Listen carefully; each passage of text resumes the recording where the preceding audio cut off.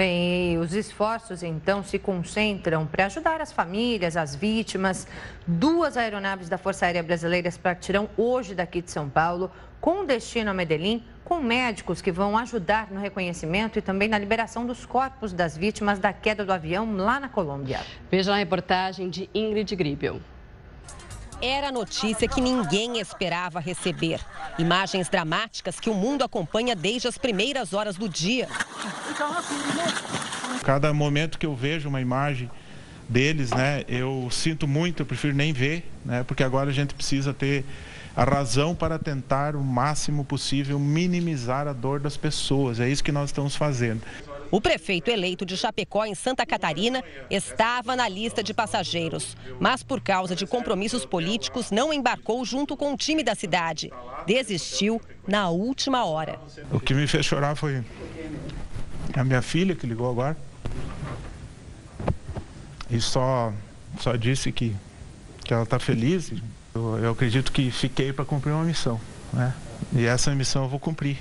Era uma viagem em busca da vitória, de um título internacional inédito. O time da Chapecoense estava feliz e confiante, pouco antes da decolagem, como dá para ver nas imagens feitas pelo jogador Felipe Machado. É isso aí, galera. Vai começar agora. Bora. Vai, Xi. Manda um alô aí pra galera. Agora vai sair, vai partir. A aeronave da companhia aérea boliviana Lamia não tinha autorização da Agência Nacional de Aviação Civil para partir direto do Brasil com destino à Colômbia. Eles foram então até a Bolívia. A equipe da Chapecoense e jornalistas esportivos saíram do Brasil na noite de segunda-feira. Fizeram escala em Santa Cruz de la Sierra, na Bolívia. A aeronave perdeu contato com a torre de controle ao sobrevoar a cidade de La Ceja, perto de Medellín, na Colômbia. Circulou a região e o piloto teria despejado todo o combustível durante a manobra. Caiu numa região montanhosa, de difícil acesso, com chuva e nebulosidade. Buscas que foram feitas por terra e pelo ar, em helicópteros. Das 81 pessoas que estavam a bordo, 75 morreram. Seis sobreviveram: dois tripulantes, três jogadores. O lateral Alan Ruschel, o goleiro Jackson Follman e o zagueiro Neto. O jornalista Rafael Renzel também sobreviveu.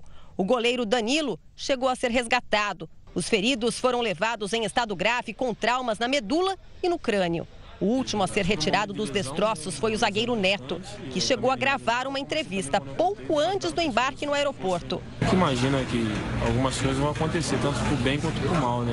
Tanto coisas boas como ruins. Entre os mortos, jornalistas esportivos e repórteres cinematográficos consagrados. Viajavam com a equipe para cobrir o jogo na Colômbia.